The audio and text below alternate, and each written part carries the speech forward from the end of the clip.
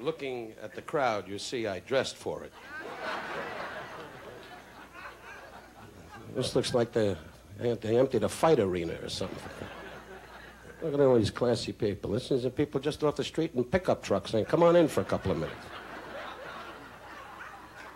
By the way, uh, you guys, uh, did you play that in Braille?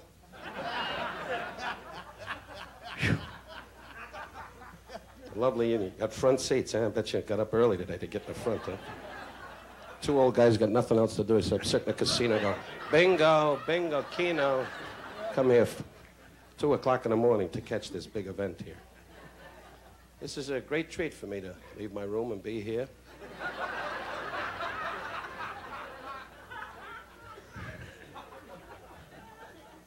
I must say, uh, it's nice to see some of you senior citizens. Where are you from, Mother? Where are you from?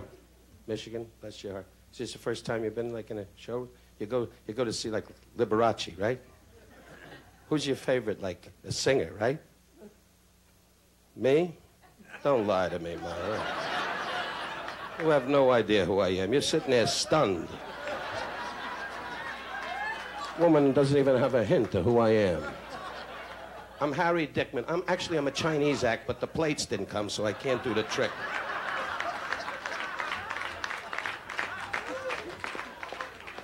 Anyway, I, I'm sorry in a way that I have to be here to talk about an unfortunate uh, disease, but uh, that's what this is all about. There are many thousands of entertainers waiting to go on backstage.